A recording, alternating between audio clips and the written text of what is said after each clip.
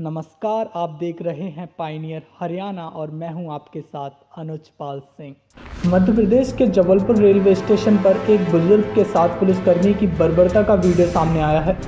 बताया जा रहा है कि बुज़ुर्ग के साथ एक व्यक्ति किसी बात पर गाली गलौज कर रहा था, जिसकी शिकायत उसने प्लेटफॉर्म पर खड़े पुलिसकर्मी से की, जिसके बाद पुलिस वाले ने बुज़ुर्ग को लात, घूंसों और बेल्ट से बुरी तरह पीटा। पुलिसकर्मी की पहचान कांस्टेबल अनंत शर्मा के रूप में हुई है। वह लीवा के लौर थाना में पदस्थ है। वीडियो की पुष्टि होते ही एसपी नवनीत भसीन ने उसे सस्पेंड कर दिया है। वीडियो में देखा जा सकता है कि पहले पुलिसकर्मी बुज़ुर्ग को धक्का देकर प्लेटफॉर्म पर पटक देता है। इसके बाद उस पर हाथ चलाता है। फिर बुज़ुर्ग के चेहरे पर जूता पहना पुलिसकर्मी पैर चलाता है।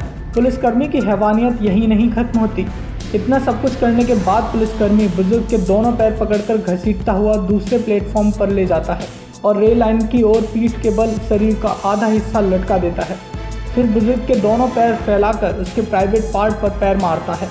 पिटाई के दौरान ट्रेन में बैठे एक यात्री ने इसका वीडियो बना लिया।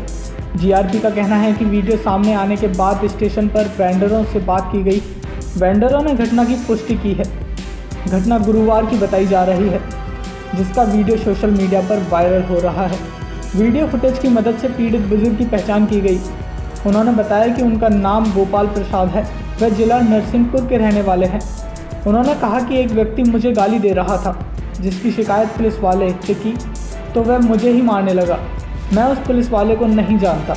राष्ट्रीय समाचार पत्र पाइनियर हरियाणा पढ़ने के लिए डाउनलोड करें हमारी वेबसाइट पर प्रकाशित ई पेपर दिन भर की तमाम छोटी बड़ी खबरें देखने के लिए सब्सक्राइब करें हमारे यूट्यूब चैनल को। वीडियो को लाइक, शेयर और कमेंट करना न भूलें।